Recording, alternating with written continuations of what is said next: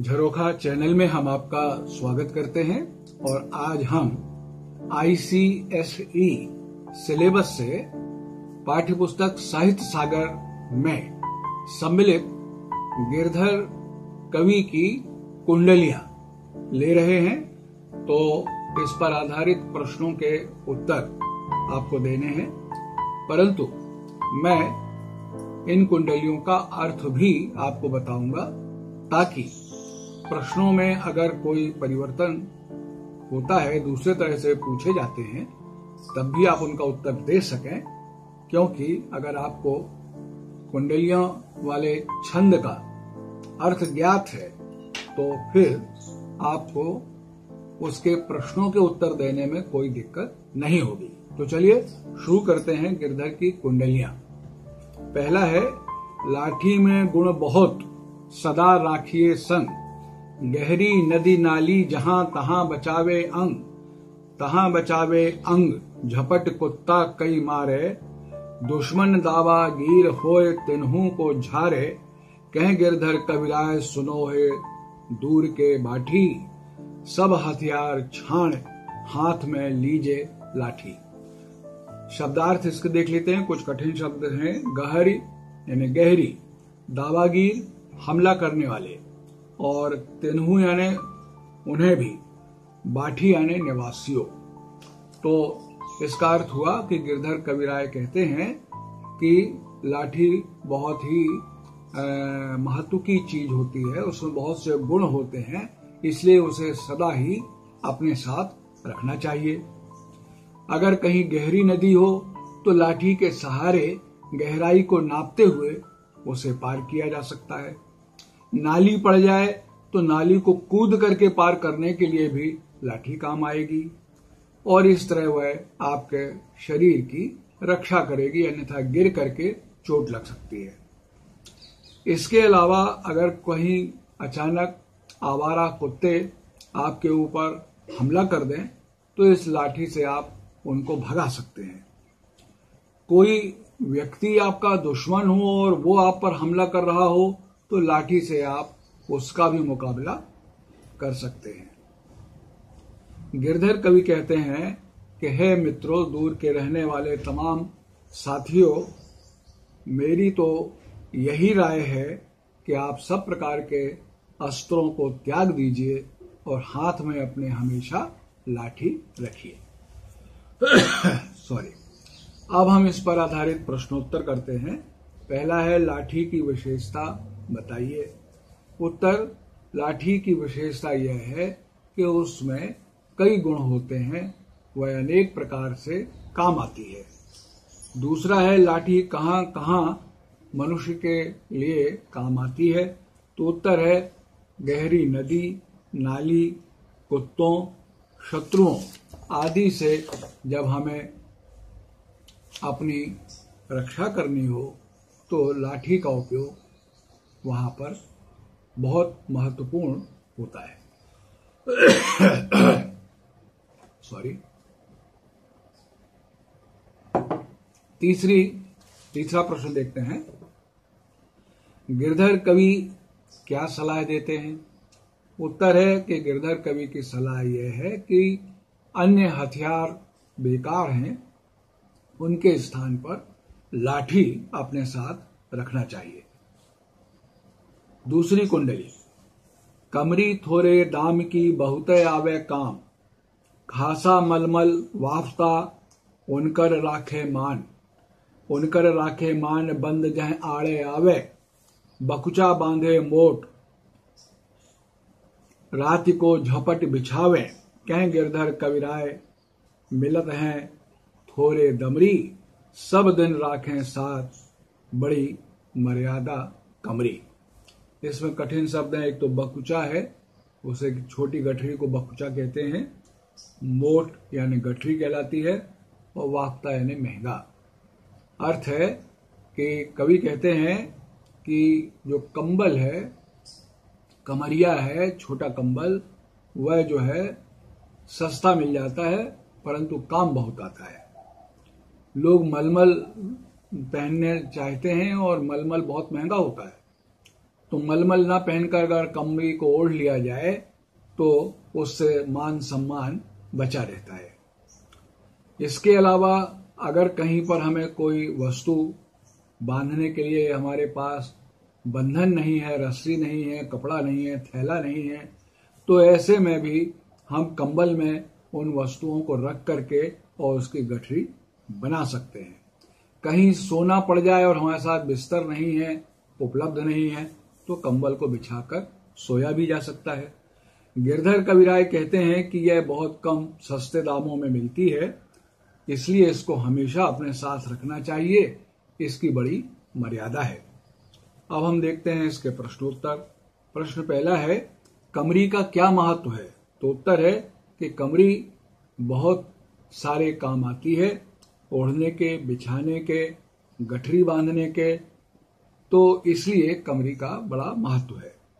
दूसरा प्रश्न है, मलमल कपड़ा कैसा होता है? उत्तर है, मलमल का कपड़ा जो है, वो महँगा होता है और सब लोग उसको नहीं पहन सकते। तीसरा जो पद है, उसको देखते हैं। गुण के गाहक सहस नर, बिन गुण लहे न कोय, जैसे कागा कोकिला, शब्द सुने सब कोय। शब्द सुने सब कोय कोकिला सबे सुहावन दो के एक रंग, काग सब भय अपावन।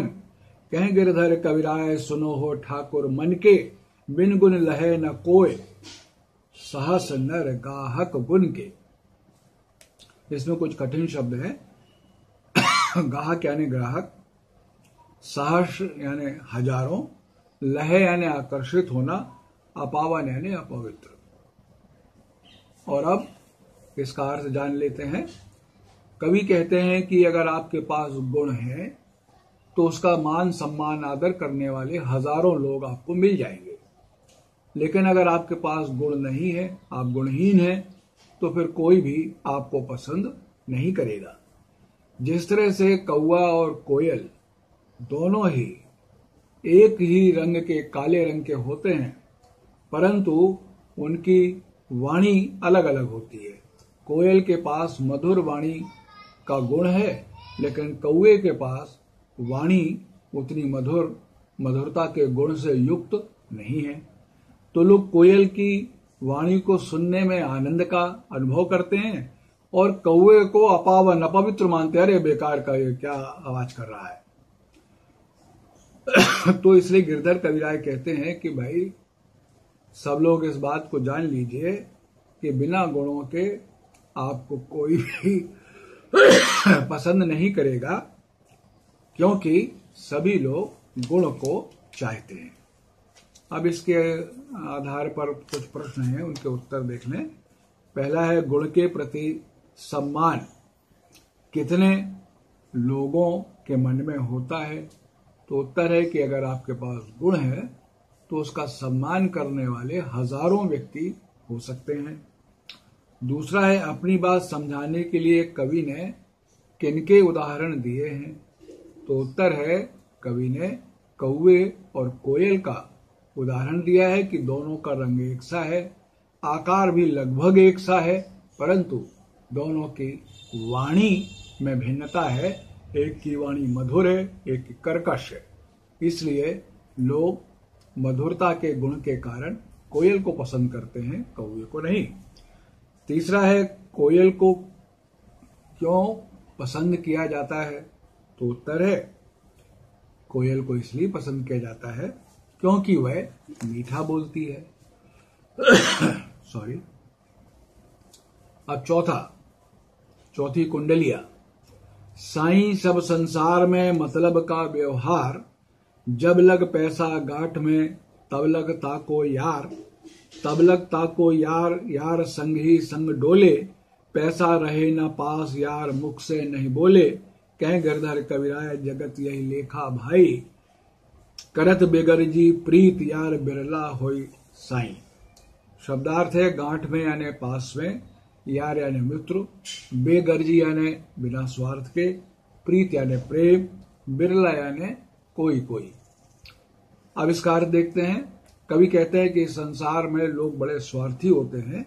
वो स्वार्थ का, अपने फ़ायदे का ही आपके साथ संबंध रखते हैं।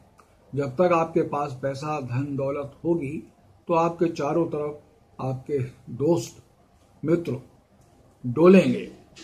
लेकिन जब पैसा पास में नहीं होगा, तब वो मुख से भी बोलने के लिए आपको तैयार नहीं मिलेंगे।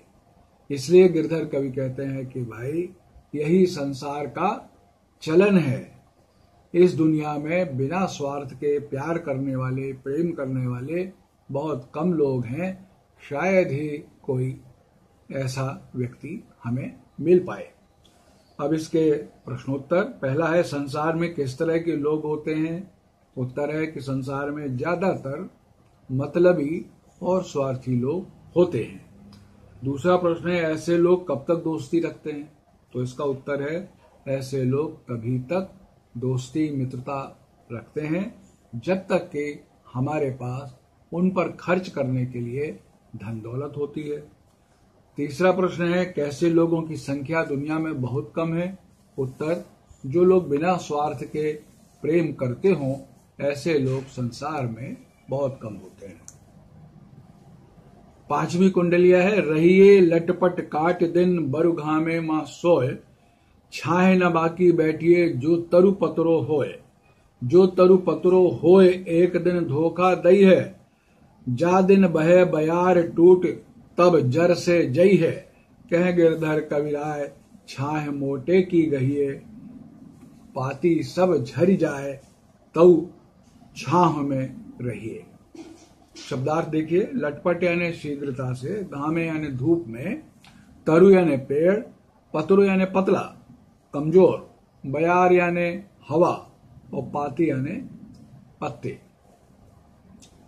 गिरधर कवि कहते हैं कि देखिए, आप अगर धूप में सोना पड़े तो उसमें भी आप पीछे मत हटिए। धूप में भी सो लीजिए, लेकिन किसी पतले पेड़ की छाया में सोने का जोखम मत उठाइए, क्योंकि अगर वह पतला पेड़, हवा चल पड़ी, तूफ़ान चल पड़ा, आंधी आ गई तो जड़ से ही उखड़ जाएगा और आपका नुकसान करेगा, आपके ऊपर गिरेगा, आपके शरीर को वह किसी नुकसान पहुंचाएगा। तो इसलिए हमेशा किसी मोटे पेड़ की छाया को ही ग्रहण करना चाहिए, क्योंकि अगर उसमें पत्ते नहीं भी हों, तब भी उसकी शाखाएँ इतनी मोटी और लंबी चौड़ी होती है कि उनसे हमको छाया मिल सकती है। तो इसके आधार पर कुछ प्रश्नोत्तर हैं। कवि कह, पहला है, पहले पेड़ की छाया में, पतले पेड़ की छाया में क्यों नहीं बैठना चाहिए? उत्तर है पतला पेड़ कभी भी टूट सकता है। इसलिए उसकी छाया में नहीं बैठना चाहिए। दूसरा है, कवि की क्या सलाह है? तो उत्तर है, कवि कहते हैं, जब भी किसी पेड़ की छाया में अगर आप बैठना चाहें, रहना चाहें, सोना चाहें, आराम करना चाहें तो कोई मोटा पेड़ खोजिए। अब हम देखते हैं छठवीं कुंडली, जो है पानी बाढ़े नाव में, घर में बाढ़े दाम। दो हाथ उलीचिए, यही सयानो काम। यही सयानो काम, राम को सुमिरन कीजे। पर स्वार्थ के काज शीश आगे धर दीजे। कह गिरधर कविराय बड़न की याही बानी। चलिए चाल सुचाल राखिए अपना पारी शब्दार्थ देखिए, बाढ़े यानी बढ़ना दाम यानी धन, उलीचिए यानी निकालिए। सयानो यानी समझदारी पर स्वार्थ यानी परोपकार, शीश यानी सिर, बारी, बानी यानी वाणी, सुचाल यानी अच्छा आचरण। अर्थ समझ लीजिए। गिरधर कवि कहते हैं कि अगर आप नाव में किसी नदी को पार कर रहे हैं और उसमें पानी भरने लग जाए तो पानी को जल्दी जल्दी बाहर निकालते रहना चाहिए ताकि नाव न डूबे। और अगर आपके घर में धन संपदा की बाढ़ आ जाए, पैसा बहुत आने लग जाए, उसको भी पानी की तरह ही अच्छे कामों के लिए निरंतर खर्च करते रहना चाहिए। ये ये ऐसा करना ही अच्छा काम माना जाता है अच्छा आचरण माना जाता है। ऐसा करते हैं कवि कवि कहते हैं कि राम की भक्ति कीजिए और परोपकार के काम में लगे रहिए। और परस्वार्थ के लिए तो लोग अपना सिर भी काट कर देने के लिए तत्पर रहते हैं। फिर उसके सामने धन भला क्या चीज़ है?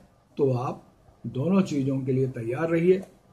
गिरधर कवि कहते हैं, बड़े लोगों ने, बुज़ुर्गों ने, भले लोगों ने, संतों, साधुओं ने यही कहा है कि हमेशा अच्छा चाल चलन चल रहे आपका और अपना पानी रखिए, अर्थात अपना सम्मान प्रतिष्ठा बनाए रखिए। यहाँ पर मुहावरा है कि अपना पानी बचाना। प्रश्नोत्तर करते हैं, नाव में पानी और घर में धन बढ़ रहा हो तो क्या करना चाहिए? उत्तर है, ऐसे में दोनों हाथों से उसे खर्च करना चाहिए, निकालना चाहिए, नाव से पानी और घर से धन। दूसरा, परोपकार के लिए क्या करना चाहिए? उत्तर है, परोपकार के लिए ज़रूरत पड़ने पर सिर भी कटवाना पड़े तो उसके लिए हमें तैयार रहना चाहिए। तीसरा है, बड़े बुज़ुर्गों ने क्या कहा है? उत्तर है, बड़े बुज़ुर्गों ने कहा है कि अच्छा चाल चलन और अपना मान सम्मान बनाए रखना चाहिए। और अब आखिरी कुंडली है, राजा के दरबार में जइये समया पाए। साई तहा न बैठिए, जह को दे उठाए। जह को दे उठाए, बोल अनबोले रहिए। हंसिए नहीं हाय बात पूछे ते कहिए। कह गिरधर कविराय, समय सो कीजे काजा। अति आतुर नहीं होए, बहुर अन खई है राजा। शब्दार्थ देखिए समय यानी समय, अनबोले यानी चुप हा यानी ठठाकर हंसना, आतुर यानी हड़बड़ी बहुर यानी फिर आप इसका समझ लेते हैं। गिरधर कविराय कहते हैं कि जब भी आपको समय मिले, अवसर मिले तो राजा के दरबार में अवश्य जाना चाहिए। लेकिन वहाँ जाने के कुछ तौर तरीके भी अपने मन में समझ लेना चाहिए। एक तो यही है कि ऐसी जगह मत बैठिए जहाँ से कोई आकर आपको उठा दे। तो जो आपको, आपके लिए उचित आसन लगता हो वही बैठिए। और बिना काम के कुछ भी मत बोलिए। चुपचाप रहिए, शांत रहिए। हंसिए नहीं हाय अगर कोई ऐसी परिस्थिति आए जिसमें हंसने का प्रयास करने का मौका मिले तो ठठाकर मत हंसिए। मंद मुस्कान के साथ उस हँसी में शामिल हो जाइए। बात पूछे ते कहिए, और जब आपसे कुछ पूछा जाए, तभी बोलिए, बिना पूछे मत बोलिए। गिरधर कवि कहते हैं कि इस तरह हर चीज़ किस समय पर क्या करना, उसी के अनुसार करना चाहिए। अति आतुर नहीं होए, ज़्यादा हड़बड़ी भी नहीं दिखाना चाहिए कि आपको बोलने मिले, आपको बात करने मिले, आपको हंसने मिले। अगर आप ऐसा करेंगे, तब ऐसे में राजा आपको बार बार अपने दरबार में बुलाएँगे। प्रश्नोत्तर करते हैं। पहला है, गिरधर कविराय कहा नहीं बैठने की सलाह देते हैं? उत्तर कहते हैं, उत्तर है, कवि कहते हैं कि जहाँ पर कोई हमको उठा दे, ऐसे स्थान पर हमको नहीं बैठना चाहिए।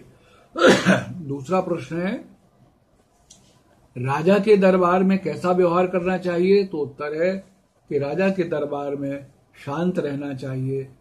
ठठाकर नहीं हंसना चाहिए। कुछ पूछा जाए तभी कहना चाहिए और ज़्यादा उतावलापन नहीं दिखाया जाना चाहिए। तो यह थी गिरधर कविराय की कुंडलियाँ और उस पर आधारित प्रश्नों के उत्तर। कृपया से शेयर कीजिए सब्सक्राइब कीजिए लाइक कीजिए। आपका बहुत बहुत धन्यवाद।